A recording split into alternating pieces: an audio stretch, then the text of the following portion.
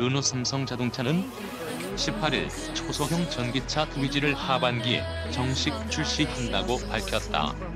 그동안 위즈는 초소형 전기 자동차에 대한 차종 분류 및 안전 기준이 마련되지 않아 도로를 운행할 수 없어 임시운행 허가를 통한 시범 사업을 검토하여 왔으나 5월 18일 규제개혁 장관 회의에서 국토부가 관련 법령을 정비하여 외국의 자동차 안전 성능에 관한 기준 등을 충족할 경우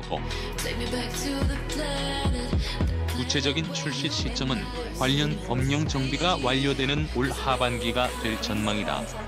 용도에 따라 2인승 및 1인승 카고 두 종류를 출시할 예정이다. 트위즈는 LG화학의 6 1kW H 리튬이온 배터리를 장착, 한 번 충전으로 100km까지 주행할 수 있다. 최고 속도는 시속 80km이며 충전은 가정용 220V 전원을 그대로 이용하면 된다.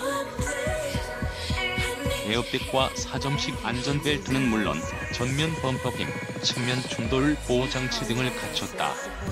최고 속도 45kmh인 위지 45, 최고 속도 80kmh인 위지 80이 전 세계적으로 출시되고 있다.